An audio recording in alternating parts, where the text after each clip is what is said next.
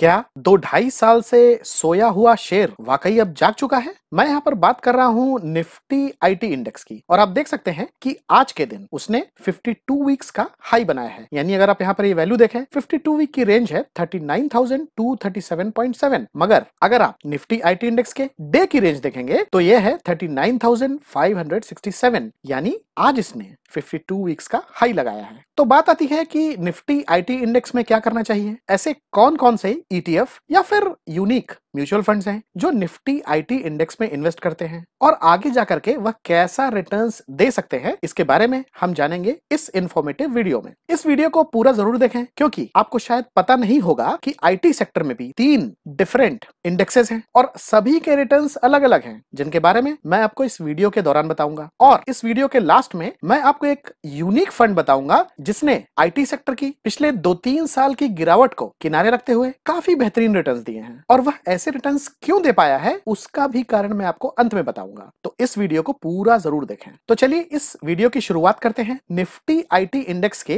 Candlestick chart से। और आप देखिए कि ये डेली चार्ट है। और अगर आप देखेंगे कि अगर मैं एक पैरेलल लाइन यहाँ से ड्रॉ करूँ तो मुझे क्लियरली दिख रहा है कि इस इंडेक्स का ब्रेकआउट हो चुका है। और अगर आप आज का ये कैंडल देखें, यानी इसने 52 वीक का हाई बनाया और उसके बाद में वापस नीचे जाके क्लोज किया। तो कुल मिलाकर के देखा जाए तो एक बढ़िया ब्रेकआउट है, मगर ये ब्रेकआउट आगे भी सस्टेन करेगा कि नहीं, ये देखना इंपॉर्टेंट होगा। अब अगर आप इसे थोड़ा सा और पीछे लेकर के जाएँगे, जैसे मैं यहाँ पर लेकर के गया तो देखिए कि 2020 यानी कोविड के बाद से एक बहुत ही खतरनाक रैली आई थी, और आपको भी पता होगा कि कोविड के बाद से, यानी 2020 से लेकर के 2022 तक, ये समय है लगभग जनवरी 2022 के आसपास का। तो यहाँ तक आईटी सेक्टर में एक बहुत ही भीषण रैली हुई थी, और सभी तरह के स्टॉक्स ने मल्टीफोल्ड रिटर्न दिया था, मगर हुआ क्या? अब देखिए ये जो जनवरी 2022 के आसपास का समय दिखा रहा है यानी इसका हाई कितना है? 39,533 के आसपास। और आज देखिए उसी पॉइंट पर जाकर के ये वापस लौट आया है। यानी आप कह सकते हैं कि ये जो 39,500 वाला पॉइंट है ना ये निफ्टी आईटी इंडेक्स का काफ़ी बड़ा रेजिस्टेंस है। मगर मुझे ऐसा लग रहा है कि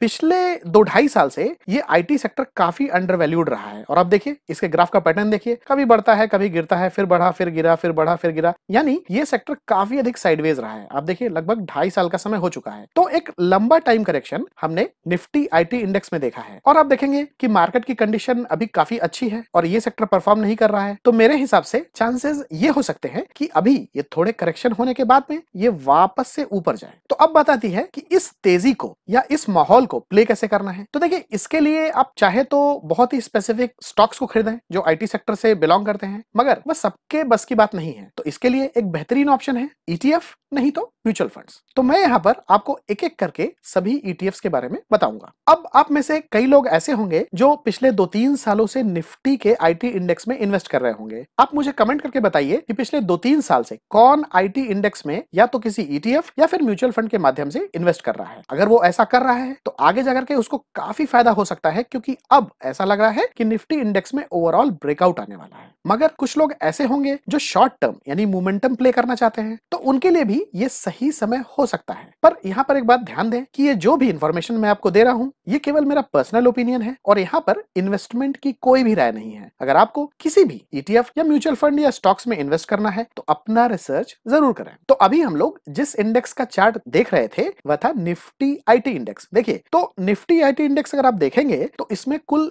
दस कंपनियाँ हैं और ये दस कंपनियाँ टॉप की दस कंपनियाँ हैं। तो अगर आप थोड़ा नीचे आए तो देखेंगे कि ये जो निफ्टी आईटी इंडेक्स है, उसकी रीबैलेंसिंग सेमी एनुअली होती है। और अगर कंपनी की बात करें, जैसे मैंने आपसे कहा कि दस कंपनियाँ हैं तो देखिए सब टॉप क्लास की कंपनियाँ हैं। इन्फोसिस है टीसीएस है H C L Tech Mahindra Wipro L T I Mindtree Persistent Coforge Mphasis और एल टी टी एस और इसके परसेंटेज भी आप देख सकते हैं, जहाँ पर टॉप थ्री यानी इन्फोसिस को 27 टीसीएस को 24.8 और एचसीएल को 9.71 यानी ये तीनों मिला करके, बल्कि कहूँ तो इन्फोसिस और टीसीएस मिला करके ही लगभग 50 परसेंट का वेटेज हो जाता है। अब आप यहाँ पर इस इंडेक्स के रिटर्न भी देख सकते हैं। और आगे मैं आपको बताऊँगा कि इस निफ्टी आईटी इंडेक्स पर बेस्ड ईटीएफ कौन कौन से हैं। तो देखिए, अगर आप पिछले एक साल का रिटर्न देखें तो इसने दिए हैं लगभग पच्चीस परसेंट के रिटर्न और वाकई आपने अभी चार्ट देखा निफ्टी आईटी इंडेक्स का तो आपने देखा कि वह कितना साइडवेज रहा। तो उतने के बाद भी अगर ये एक साल में लगभग पच्चीस परसेंट के रिटर्न दे रहा है तो ये काफ़ी बढ़िया बात है। पर यह सेक्टर वाकई में पिछले दो तीन सालों से थोड़ा सा अंडर वैल्यूड रहा है। पाँच साल का रिटर्न देखिए 20.25 अब यहाँ पर एक बात खास तौर पर आपको ध्यान रखनी है कि ये जो निफ्टी आईटी इंडेक्स है, उसमें maximum to maximum large cap stocks हैं, जो हम अभी आगे देखेंगे। इसके लिए आप देखिए कि इसका डिविडेंड ईल्ड भी काफ़ी अच्छा है 2.2 और अगर हम इस इंडेक्स के फ्लक्चुएशंस की बात करें या वॉलिटिलिटी की बात करें तो शॉर्ट टर्म में वॉलिटिलिटी तो ठीक ठाक ही है, मगर अगर हम बिल्कुल लॉन्ग टर्म में देखें तो आप देख सकते हैं कि 33 का स्टैंडर्ड डिविएशन जो कि बहुत बहुत ज़्यादा है। ऐसा इसलिए है क्योंकि जो निफ्टी आईटी इंडेक्स है, उसमें उतार चढ़ाव बहुत होता है। आप देखिए, मैंने यहाँ पर एक लाइन चार्ट लगा दिया है और ये मंथली चार्ट है। तो आप देख सकते हैं कि कभी ये बहुत ज़्यादा जाएगा ऊपर, फिर नीचे आ जाएगा। फिर देखिए, कितना वोल्टिलिटी है। देखिए, लगातार कभी नीचे, ऊपर नीचे, ऊपर। मतलब ये, अब यहाँ से देखिए, ये कोविड वाला टाइम है, ये बिल्कुल ऊपर गया, फिर यहाँ नीचे आया, फिर ये ऊपर गया, फिर नीचे आया, फिर ऊपर गया। तो कुल मिलाकर के आप देख सकते हैं कि ये जो निफ्टी आईटी इंडेक्स है उसकी लॉन्ग टर्म वोल्टिलिटी काफ़ी काफ़ी अधिक है। और इसीलिए मेरे हिसाब से निफ्टी आईटी जैसे जो भी सेक्टर्स हैं, वह एक थीम बेस्ड सेक्टर हैं और ये काफ़ी हद तक साइक्लिक रहते हैं, जो कुछ टाइम में ही परफॉर्म करते हैं और बाकी समय में परफॉर्म नहीं करते। तो हमें ये समझना होगा कि इनका समय कब आ रहा है और उसी हिसाब से हम लोग इसको एक दो साल तक प्ले करें और उसके बाद में इसमें से एग्जिट ले लें। तो अब हम लोग बात करेंगे कि निफ्टी आईटी इंडेक्स पर बेस्ड ईटीएफ कौन कौन से हैं। तो आपको तो पता ही होगा कि निफ्टी आईटी इंडेक्स पर बेस्ड सबसे फ़ेमस ईटीएफ है निफ्टी आईटी बीस। तो ये आपके सामने आ गया है सबसे फ़ेमस आईटी ईटीएफ जिसका नाम है Nippon India ETF Nifty IT, या फिर आईटी बीस भी कहा जा सकता है। अब आप अगर इसके रिटर्न देखेंगे तो रिटर्न एक साल में लगभग 36 परसेंट है और तीन साल में लगभग साढ़े बारह, तेरह परसेंट के आसपास का रिटर्न है। आप सोच रहे होंगे कि इसके इंडेक्स में और ईटीएफ में रिटर्न में थोड़ा सा अंतर क्यों है? तो वो इसलिए है क्योंकि आप देखिए, ये जो डेटा है, ये 28 जून का है तो ये थोड़ा पुराना डेटा है। मगर आप देख रहे होंगे कि अभी पिछले कुछ एक दो वीक से आईटी इंडेक्स में काफ़ी ज़्यादा तेज़ी आई है तो इसीलिए आने वाले पंद्रह दिनों में इसका रिटर्न थोड़ा बढ़ गया है। और आप देखिए कि एक साल का रिटर्न है थर्टी और तीन साल का है ट्वेल्व यानी लगभग तेरह रिटर्न दिए हैं। अब देखिए बात यहाँ पर ऐसी है कि निफ्टी आईटी इंडेक्स में इन्वेस्ट करने के लिए केवल और केवल निफ्टी बीस नहीं है, बल्कि काफ़ी सारे एटीएफ हैं। मैं आपको कुछ एग्जांपल्स देता हूँ। जैसे एक और एग्जांपल है आईसीआईसीआई प्रोडेंशियल का निफ्टी आईटी ईटीएफ अब देखिए, अगर आप देखेंगे तो ये भी निफ्टी आईटी इंडेक्स पर बेस्ड है। वहीं पर इस रिटर्न भी देखिए, एक साल में छत्तीस और तीन साल में तेरह, यानी बिल्कुल सिमिलर रिटर्न है जैसा की निफ्टी बीस ने दिए हैं। मैं आपको एक और एग्ज़ाम्पल दिखा देता हूँ। ये देखिए, आपके सामने है कोटेक निफ्टी आईटी ईटीएफ और ये ईटीएफ भी निफ्टी आईटी इंडेक्स पर बेस्ड है। रिटर्न देखिए देखिए, एक साल में छत्तीस और तीन साल में तेरह यानी यहाँ पर मेरे कहने का मतलब ये है कि आप निफ्टी आईटी पर बेस कोई भी ईटीएफ ले लें तो रिटर्न जो रहेगा वो ऑलमोस्ट सिमिलर ही रहेगा। तो यहाँ पर अंतर क्या है? तो अंतर यहाँ पर ये है कि आप जो भी ईटीएफ ले रहे हैं, उसकी लिक्विडिटी कैसी है और उसका एक्सपेंस रेशियो कैसा है? तो चलिए, जैसे कोटक निफ्टी आईटी टेफ की बात करें तो आप देखिए कि इसका जो एक्सपेंस है? पॉइंट वन एट परसेंट है, जो कि काफ़ी कम है। अब आप यहाँ पर कोटक निफ्टी आईटी ईटीएफ का ट्रेडिंग वॉल्यूम देख सकते हैं, जो है 2.29 लैक्स जो कि बढ़िया है। और इसका आप कोड देख सकते हैं यहाँ पर आईटी उसके बाद हमने देखा ICICI Prudential Nifty IT ETF तो इसका एक्सपेंस रेशियो देखिए पॉइंट टू ज़ीरो ये भी ऑलमोस्ट सिमिलर ही है और ये भी काफ़ी बढ़िया है। अब अगर आप ICICI Prudential Nifty IT ETF का वॉल्यूम देखेंगे तो ये आ रहा है 8.90 लाख जो कि कोटक से अधिक है। और इसका कोड आप देख सकते हैं आईटीआई ईटीएफ उसके बाद आता है सबसे फ़ेमस आईटी ईटीएफ जो है Nippon India ETF Nifty IT या फिर आईटी बीस तो इसका एक्सपेंस रेशियो देखिए पॉइंट ये बाकी तीनों में आपको थोड़ा सा अधिक दिखेगा, पर ये भी काफ़ी कम है। अब अगर वॉल्यूम की बात करें तो आप देख सकते हैं कि इसका वॉल्यूम है 1.4 करोड़ यानी अभी हाल फ़िलहाल में ट्रेडिंग वॉल्यूम सबसे टॉप क्लास का चल रहा है और इसमें सारे इन्वेस्टर्स काफ़ी ज़्यादा रुचि दिखा रहे हैं। इस बात का ध्यान दें। वैसे हमने यहाँ पर तीन निफ्टी आईटी ईटीएफ की बात की आई टी बीस आईसीआईसीआई कोटेक और इसके अलावा भी काफ़ी सारे निफ्टी आईटी पर बेस ईटीएफ हैं, जैसे कि एसबीआई का है एक्सिस का है एच का है, मगर उन सबके वॉल्यूम जो है, वो थोड़े से कम है, एक लाख से कम है। तो ये तीनों मैंने यहाँ पर जो बताए और उसमें खासकर आई टी बीस ये सबसे टॉप क्लास का ईटीएफ है ट्रेडिंग वॉल्यूम के टर्म्स में। अब एक बात आती है कि जैसे आपने देखा कि यहाँ पर इसका एक साल का रिटर्न 36.39 है और तीन साल का 12.95 है। तो ज़ाहिर सी बात है कि हमने चार्ट में दिखाया भी था कि पिछले दो ढाई सालों से निफ्टी आईटी इंडेक्स ने परफॉर्म नहीं किया है। इसीलिए तीन साल का रिटर्न इसका 12.95 रहा है। मगर इसका एक और कारण भी है। इसके लिए हमें निफ्टी आईटी इंडेक्स का पोर्टफोलियो देखना होगा। तो जैसे ही हम पोर्टफोलियो पर क्लिक करते हैं तो आप देख सकते हैं कि अगर हम लार्ज कैप्स की बात करें, यानी जायंट प्लस लार्ज ये पूरा लार्ज कैप ले लेते हैं। तो लगभग 86 परसेंट लार्ज कैप स्टॉक्स हैं। और मैंने आपको इंडेक्स में दिखाया ही था कि केवल इन्फोसिस और टीसीएस मिला करके 50 परसेंट से ऊपर का वेटेज है। अब यहाँ पर आप देख सकते हैं कि जो मिड कैप्स है, वो केवल 13.8 परसेंट है, जो कि कम है। और इसीलिए ये जो लार्ज कैप का परसेंटेज है और पिछले काफ़ी समय से इन्फोसिस टीसीएस विप्रो एचसीएल जैसी बड़ी बड़ी कंपनियों ने जो कि लार्ज कैप्स है, उतना अच्छा परफॉर्म नहीं किया है। हालाँकि मिड और स्मॉल कैप आईटी ने परफॉर्मेंस अच्छी दी है, मगर इस निफ्टी आईटी इंडेक्स में स्मॉल कैप तो है ही नहीं और मिड कैप की परसेंटेज भी लगभग तेरह चौदह के आसपास है। तो ये चीज़ आपको ध्यान रखनी है। तो अभी आईटी सेक्टर के लिए हमने पहला इंडेक्स डिस्कस किया, वो है निफ्टी आईटी इंडेक्स अब चलिए, अब हम डिस्कस करते हैं दूसरा इंडेक्स जो कि आईटी सेक्टर पर ही बेस्ड है, मगर थोड़ा डिफरेंट है। उस इंडेक्स का नाम है निफ्टी इंडिया डिजिटल इंडेक्स जी हाँ अब यहाँ पर कुछ चीज़ें बदल जाती हैं, थोड़ी सी। अब आप देख सकते हैं कि ये जो निफ्टी इंडिया डिजिटल इंडेक्स है, उसके लिए खास तौर पर एक इंडिया डिजिटल थीम बनाई गई है। तो इस खास इंडिया डिजिटल थीम में केवल आईटी सेक्टर से रिलेटेड स्टॉक्स ही नहीं है, बल्कि इससे जुड़े हुए अलाइड सेक्टर के स्टॉक्स भी हैं, जिसे हम अभी आगे देखेंगे। अब आप देखिए कि जहाँ पर एक और निफ्टी आईटी इंडेक्स में केवल 10 स्टॉक्स थे और मेजोरिटी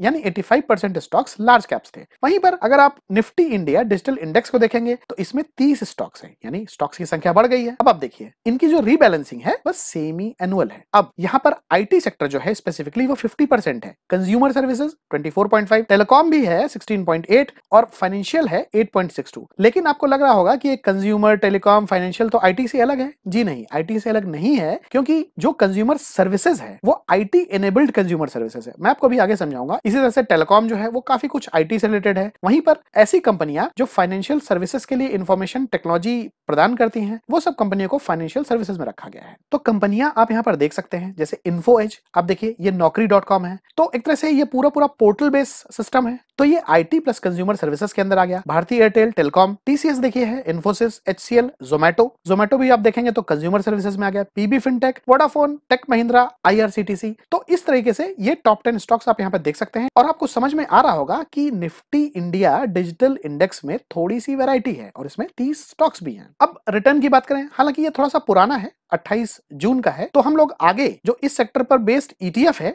और अभी तक केवल एक ही ऐसा ईटीएफ अवेलेबल है जो निफ्टी इंडिया डिजिटल थीम पर बेस्ड है। तो उसके बारे में हम अभी बात करेंगे। लेकिन आप यहाँ पर देख सकते हैं कि इसका एक साल का रिटर्न है 42 परसेंट जबकि आपने देखा होगा कि निफ्टी आईटी इंडेक्स में यही 25 परसेंट दिखा रहा था। पाँच साल में 21.96 और सिंस इंसेप्शन इसका रिटर्न काफ़ी कम है 13.08 वहीं पर अगर हम स्टैंडर्ड डेविएशन और बीटा की बात करें, यानी इस इंडेक्स में कितना उतार चढ़ाव होता है, यानी वोल्टिलिटी कितनी है तो अब देखिए, अगर एज कंपेयर टू अगर निफ्टी आईटी इंडेक्स देखें तो इसकी वोल्टिलिटी थोड़ी सी कम लग रही है। तो निफ्टी इंडिया डिजिटल इंडेक्स पर बेस्ड एकमात्र वो ईटीएफ है, जिसका नाम है Tata Nifty India digital ETF आप यहाँ पर देख सकते हैं। अब अगर रिटर्न की बात करें तो अब देखिए कि इसने एक साल में दिए हैं 50 परसेंट के रिटर्न वहीं पर आपने देखा होगा कि जो आई बीस है, जो कि निफ्टी आईटी इंडेक्स पर बेस्ड है, उसने एक साल में थर्टी परसेंट के रिटर्न दिए हैं। यानी ऑलमोस्ट फिफ्टीन परसेंट का रिटर्न ज़्यादा है Tata Nifty India digital ETF में। तो यहाँ पर आप ये बात नोट करें। अब इसका रिटर्न निफ्टी आईटी इंडेक्स से क्यों ज़्यादा है, उसके बारे में हम बस अभी बात करेंगे। उससे पहले आप इसका एक्सपेंस देखिए। पॉइंट फोर यानी निफ्टी आईटी इंडेक्स से जुड़े जो भी ईटीएफ हमने देखे, उनका डबल एक्सपेंस इस निफ्टी इंडिया डिजिटल ईटीएफ में है। और ऐसा इसलिए है क्योंकि यह एक स्पेशलाइज्ड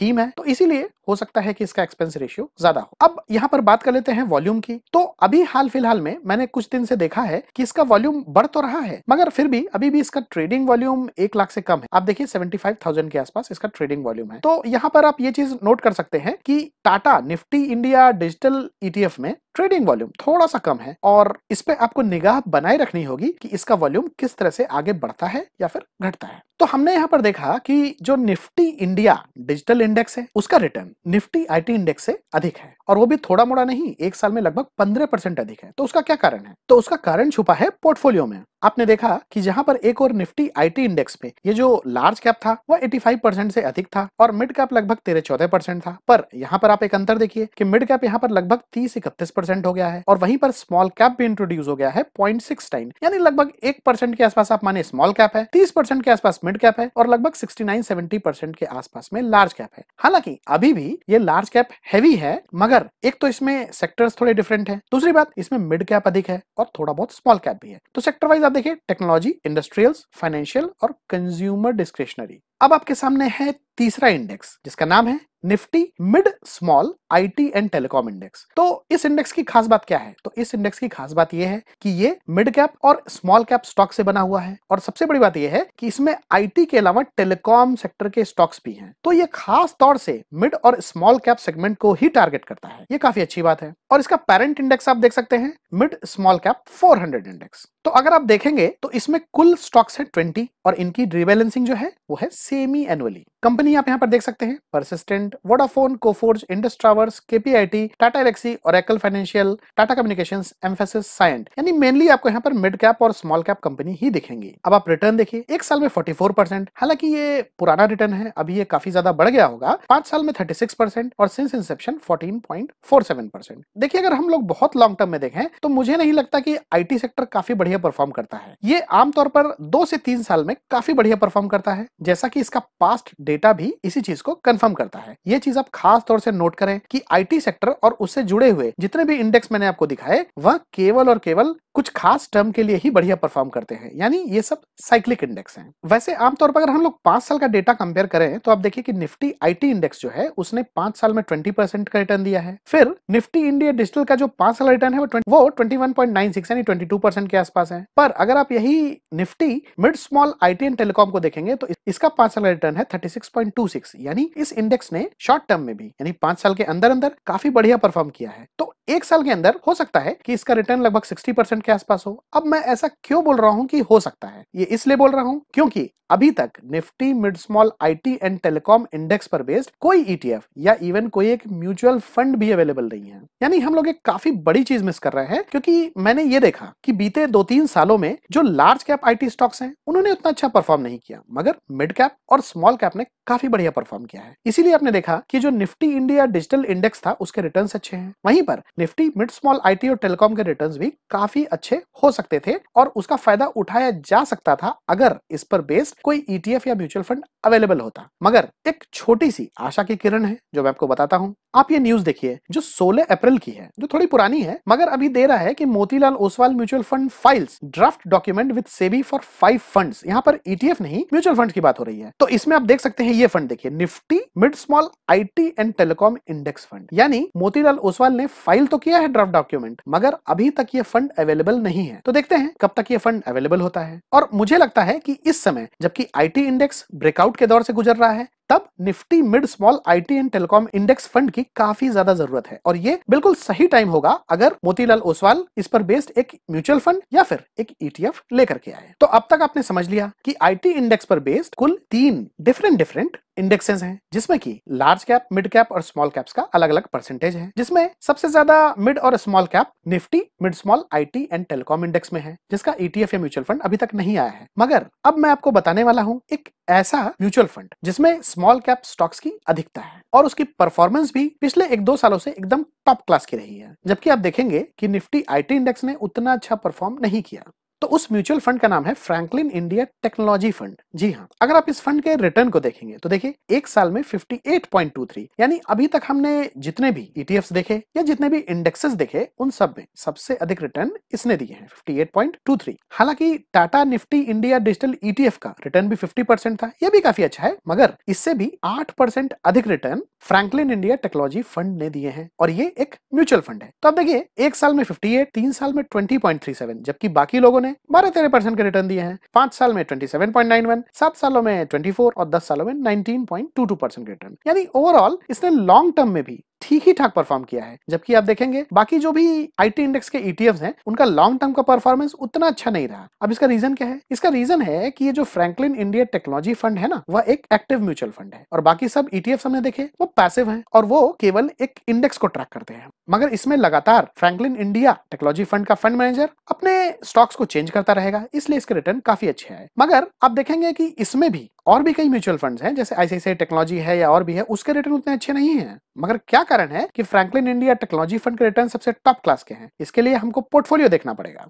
अब देखिए, यहाँ पर जो लार्ज कैप है, वह मात्र 40 परसेंट के आसपास है। आपने देखा कि जो भी हमने निफ्टी के आईटी इंडेक्सेस देखे, उसमें 70 टू 85 परसेंट केवल लार्ज कैप्स ही थे। मगर यहाँ पर जो लार्ज कैप्स हैं, वह इन दोनों को अगर मिला दें तो 40 परसेंट के आसपास है। अब देखिए मिड कैप 42 परसेंट है और स्मॉल कैप भी लगभग 20 परसेंट के आसपास है। तो यही चीज़ आपको ध्यान में रखनी है। अब मैंने आपको पहले ही बताया कि आईटी सेक्टर में स्मॉल कैप और मिड कैप ने बढ़िया परफॉर्मेंस दी है और इसी रीजन से पिछले एक सालों में फ्रैंकलिन इंडिया टेक्नोलॉजी फंड की परफॉर्मेंस अच्छी रही है, क्योंकि उसमें लार्ज कैप्स का परसेंटेज थोड़ा सा कम रहा है। अब आगे देखते हैं कि ये कैसा परफॉर्म करता है। तो दोस्तों, ये तो हो गई आईटी सेक्टर की बात। और उससे जुड़े हुए तीन आईटी के इंडेक्सेस अब आप बताइए कि आपको इन तीनों इंडेक्सेस में से कौन सा इंडेक्स सबसे अधिक पसंद आया? खैर, यहाँ पर आईटी इंडेक्स कोई भी हो, एक बात आपको यहाँ पर ध्यान देनी है कि ये जो आईटी इंडेक्स है, भले ही इस आईटी के अंदर कोई भी इंडेक्स आ रहा हो, वह सेक्टोरल या थीमेटिक इंडेक्स है और वह साइक्लिक है, यानी कुछ खास समय के लिए ही परफॉर्म करता है। इस बात का आप ध्यान रखें। तो अगर किसी को लॉन्ग टर्म के लिए इन्वेस्ट करना है तो उसके लिए आप देख सकते हैं बेस्ट स्मार्ट बीटा ईटीएफ इस वीडियो में।